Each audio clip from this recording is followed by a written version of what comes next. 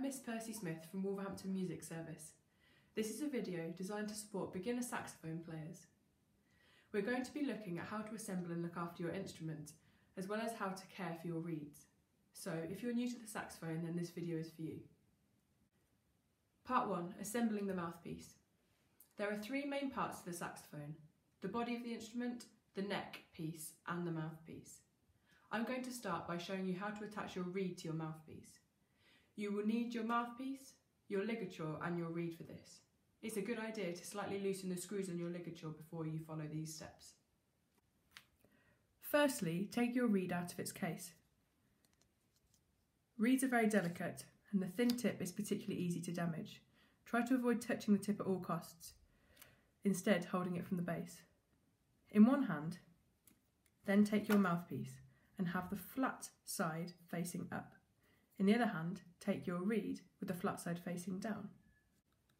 Bring these two flat sides together, checking that the sides of the reed line up with the sides of the mouthpiece's flat surface.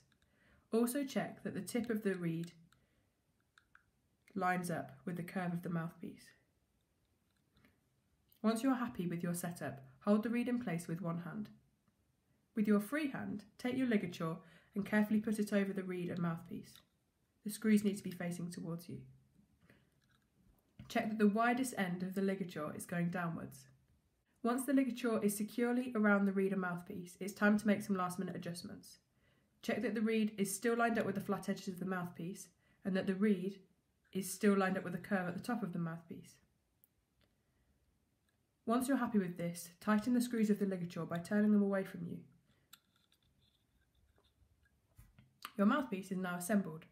You may want to put your mouthpiece cap over your mouthpiece now to protect it. Part 2. Assembling the saxophone. When assembling the saxophone, I would recommend starting with the neck and the mouthpiece. The open end of the mouthpiece joins onto the thin end of the neck piece which has cork around it.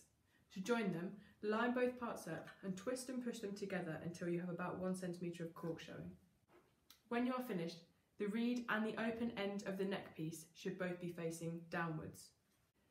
We can now attach the neck part to the body of the saxophone. Resting the body of the saxophone on something stable, line up the open end of the neck piece with the small open end of the saxophone, and like before, twist and push the two parts completely together. Then tighten the screw where the two parts join. You are now set up and ready to play. Part 3. Caring for your saxophone. As you start to play the saxophone over longer periods of time, you will discover that moisture builds up inside the instrument. It is important to keep the inside of the saxophone clean and dry to keep it in good working condition. Here are some tips to help you with this. When you have finished playing, clean the saxophone with a saxophone pull-through cleaner or stick cleaner. You will need to disassemble the instrument into three parts before doing this. Wherever possible, also remove the reed and return it to its case after playing. This will allow it to dry out. Wipe off any excess moisture from the reed surface before doing this if necessary. Thank you for watching. Come back again to see the videos we will be releasing to support you at home.